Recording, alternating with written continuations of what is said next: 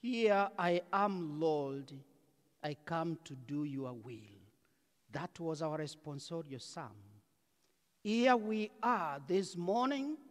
We are here doing the will of the Father, the will of God, to believe in Him, to believe in His Son, and to follow Him. Last week, we celebrated the solemnity of the baptism of Jesus Christ. And if you remember the readings, the voice of the Father was heard saying, This is my beloved Son, listen to him. And after that, Jesus started his public ministry. Public ministry meaning what?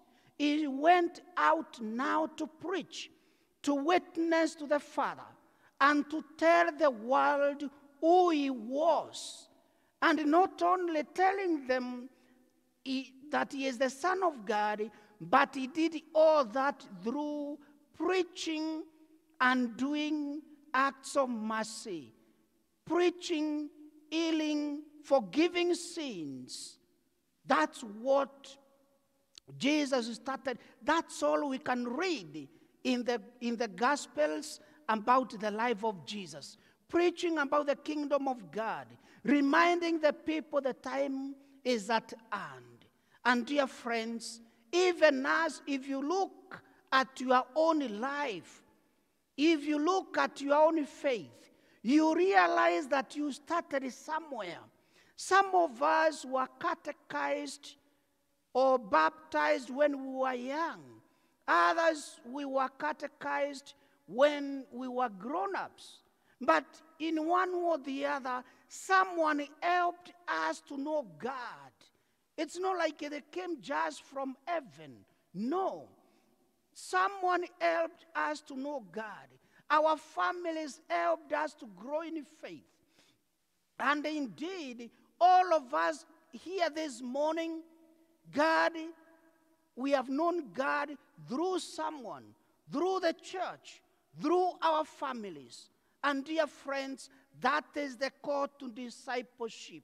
All of us, we are gathered here this morning because we have seen the light of Christ. And I believe that is why, even last week when we read the Gospel of St. Mark, telling the people that, yes, I'm not the Messiah, the one who is coming, even I'm not worthy to untie his sandals. John, in a way, showed his disciples where to go and whom to go to. Just like all of us, through the sacrament of baptism and our faith, someone helped us to be who we are, to be Christians, to be Catholics.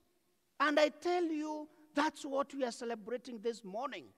And again, even after that, we hear in the gospel today something else is also happening to John.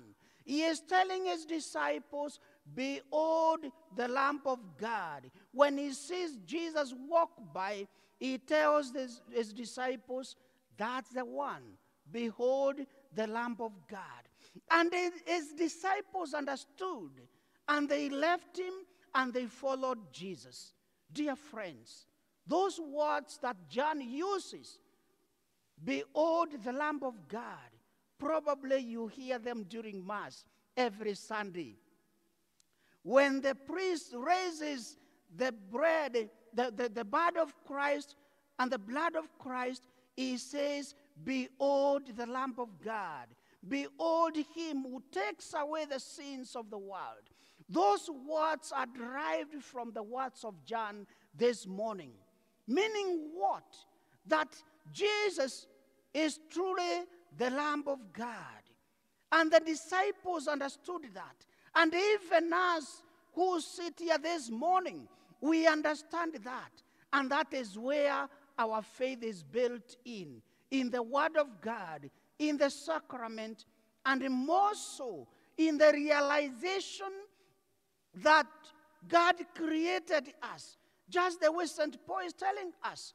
St. Paul tells us in our second reading God created us for Himself and also for ourselves. In other words, our bodies are the temples of the Holy Spirit. That mean, meaning what? That we belong to God, whether we want it or not. We are God's creatures, whether we believe in Him or not. And in God, always He is there, waiting for us to turn back to Him. And how do we do it? To turn back to God, doing what we are doing today. Also, helping others to know God and to come closer to Him. Those who have grandkids, those who have family members that do not know God, we may, it's not so much of being called to go and preach to them, but rather they can even learn about God through us. The little things we do for them, and also in inviting them, telling them, you know what? God loves you. You don't have to do much. God loves you. God is there. You are able to go through this because of Him. We are all called to guide others closer to the Lord. And that is why we hear in the first reading, even Samuel staying in the temple of the Lord the whole of his life, when God called, he could not recognize it was the voice of God. He needed someone to tell him, if he calls you again, tell him, Lord, here I am. Speak, Lord, your servant is listening. And that's what we have heard. Eli told Samuel, if he calls you again, that's how you are supposed to respond. And dear friends, that's our faith. All of us here, we have the faith because someone did something to us. And we should be grateful to our families, to our friends, those who brought us to faith. Grateful to them. And also re- remember that we are also called to bring others to Christ. That's our call today.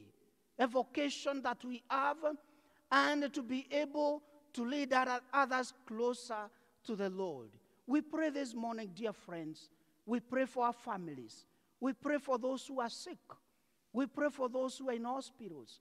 We pray for those who have um, different problems in life, that the good Lord may, may help them to turn back to Him, to realize that, yes, even the difficult times they go through, He is always there. He never leaves us because our bodies are the temples of the Holy Spirit. God created us for Himself and for ourselves. We are a children. So this morning, we pray and thank Him for the gift of our faith. We thank Him for the gift of our families. And we continue to pray for each other that the good Lord may build us and bring us closer to Him. And as we listen to the readings the coming weeks, you realize that Jesus will, is now going out to preach.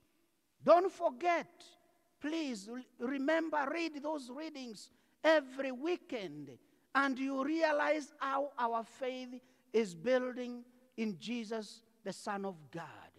Today, John tells us, Behold, the Lamb of God. He is there. He loves us.